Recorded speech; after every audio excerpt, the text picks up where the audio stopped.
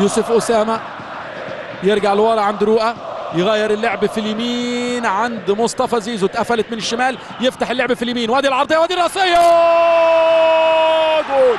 جول! سيف الدين الجزيري هي الأطراف لعبته.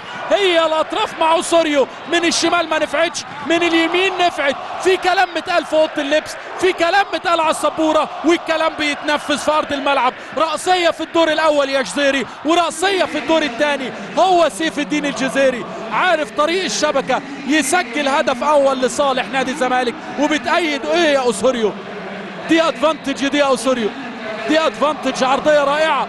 من صاحب الأسيستات من الهداف زيزو نجم نادي الزمالك. يلعب الكرة العرضيه يطلع أعلى من الكل يطلع أعلى من الكل. اللاعب سيف الدين الجزيري ويركنها على شمال محمد بسام يركنها ركنة معلم.